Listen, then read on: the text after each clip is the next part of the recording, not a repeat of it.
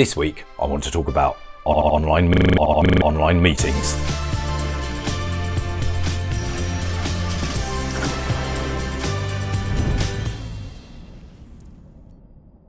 Hi, I'm Christian from Northstar IT, and this week I want to talk about online meetings.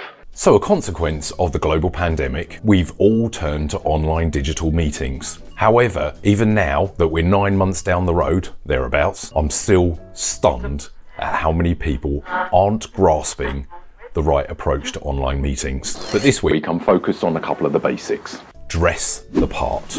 If you want a tip from me, and I have done so many Zoom meetings in the last nine months,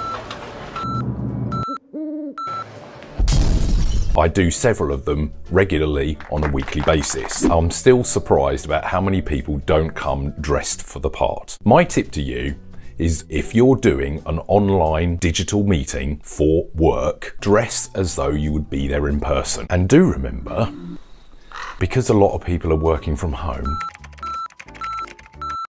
sometimes those little ankle biters can turn up when you least expect it. Just because the camera may only see to a certain level, something may happen, and if you're not dressed appropriately all the way down, you could get caught out, as I know someone in my own business networking group did recently, when his little boy came running in and he got up to chase after him, and the whole meeting got to see that he was not wearing any trousers. Oops. Until next time.